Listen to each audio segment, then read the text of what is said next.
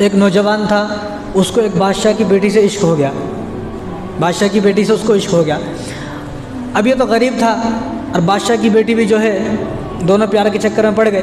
अब इसने बादशाह की बेटी ने कहा कि मुझे भी शादी करना तो इससे करने तो मर जाऊँगी जहर खाकर।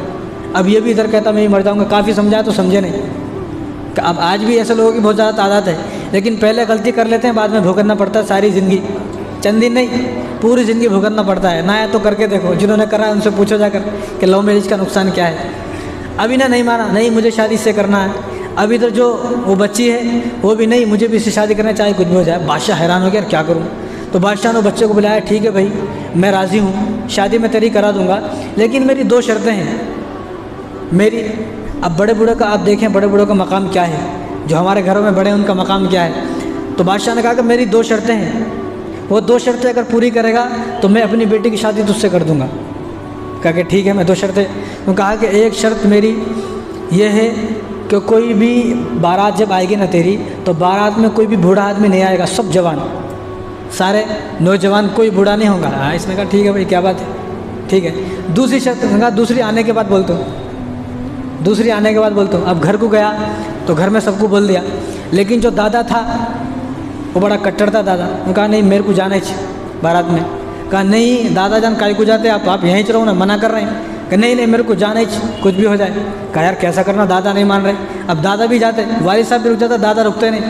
क्योंकि उसको बहू लाने की इतनी खुशी नहीं है, उसको बीवी लाने की इतनी खुशी नहीं है, जितनी दादा को बहू लाने की खुशी है। तो दादा क्या बोलता, नहीं, मेरे को जाना ही, चाहे कुछ भी हो जाए। ये किताबों में ये बात, हमारे बुज़ुर्गों ने उलामा ने तहरीर फरमाई है ये बात, कोई ऐसी बात नहीं है, झूठी बात। तो अब लड़के ने क्या कहा कि ठीक है, तुम्हारे को ले जाते, लेकिन तुम्हारे को संदूक में बंद कर देते। उनको संदूक में बंद कर दिया, ऐसे खुलेआम नहीं। संदूक में खाली मैं जाता हूँ, आ जाता हूँ। संदूक में बंद कर दो, संदूक में से देख लेता हूँ। अब संदूक में दादा को बंद कर दिया, बारात चली गई।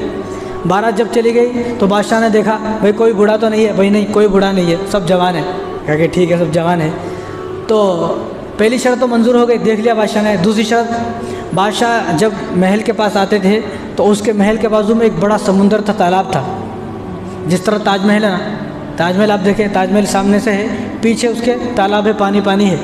तो इस तरह उसका जो महल था वो महल के पीछे इधर सामने पूरा तालाब था। तो उसने कहा कि पहली शर्त तो मंजूर हो गई दूसरी शर्त मेरी ये है कि ये जो तेरी शादी जब होगी ये जो तालाब है ना इस तालाब में पानी की जगह दूध बहना।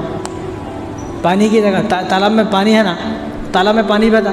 कि ये तालाब में पानी की जगह दूध बहना तो तेरी शादी कर देता हूँ मैं। अभी हैरान हो गया ये कैसी शर्त है। भाई तू नहीं मानता तो चला जा, शादी नहीं करूँगा, लेकिन तूने कहा था मैं मानता हूँ। मानता तो ठीक है। अभी हैरान हो गया। क्या करना? अब हैरान हो गए सब परेशान हो गए बहुत देर हो गई तो मायूस होकर जाने लगे, भाई शादी वादी कुछ भी नहीं होती, जा रहा है। ऐसा कैसा होता भाई? जा तो। अब गए गाड़ी में तो दादा अंदर था, संदूक में। दादा ने अंदर से खोल के पूछा कि बिरयानी बिरयानी कुछ तो भी ला रहे क्या? अरे यहाँ बिरयानी का, यहाँ शादी को लाले पड़ता रहे, यहाँ शादी नहीं हो रही, बिरयानी कहाँ चला का क्या हुआ? कि ऐसा ऐसा हुआ है। बस इतनी बात, बस इतनी सी बात। हो जाती शादी, जाओ तुम, मायूस न कहो। हैरान हो गया कैसा होती शादी? ये पानी भाई पानी की जगह दूध कैसा बहता भाई? इतना दूध कहाँ से लाते? क्या हो जाती शादी। बादशाह को बोलो, शादी हो जाती तो तैयारी कर, लेकिन हमारी एक बात है पहले, वो मान। क्या? वो बात मानते तो हम दूध डालते। उसने कहा कि बादशाह से कहो कि इस तालाब को खाली करो। ये तालाब को खाली करो, ये तालाब को हम दूध लेके आ रहे हैं। अभी ने कहा, वहाँ के बादशाह से कहा कि बादशाह, इस तालाब को खाली करो। बादशाह सुना तो बुला कोई कोई बुढ़ा है यहाँ पर। कोई बुढ़ा है। वैसा नहीं हो सकता। नौजवान तो ये बात का जवाब नहीं दे सकते ना। कोई बूढ़ा ज़रूर है। तो जब मालूम हुआ तो बूढ़ा वहाँ पर था।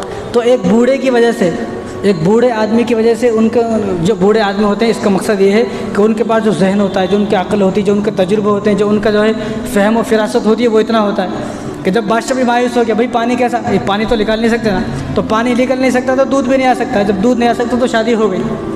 तो एक बूढ़ों की वजह से, बुज़ुर्गों की वजह से तो हम अपने बड़ों का अदब करें, बुज़ुर्गों का अदब करें, जो हमारे घर में जो बुज़ुर्ग है, इनकी वजह से अल्लाह तबारक वाली हमारे रिजिक के फैसले फरमा रहे कुछ आदमी सोचते हैं, मैं कमा रहा हूँ, रात दिन मैं मेहनत करता हूँ, मैं काम को जा रहा हूँ, मैं कारोबार को जा रहा हूँ, मैं दुकान चला रहा हूँ। नहीं भाई, तू दुकान चला रहा है ठीक है, कारोबार को जा रहा है ठीक है, लेकिन जो पीछे तेरी वालदा हैं, वाली साहब है, बूढ़े, उनकी दुआओं की वजह से कारोबार चल रहा है।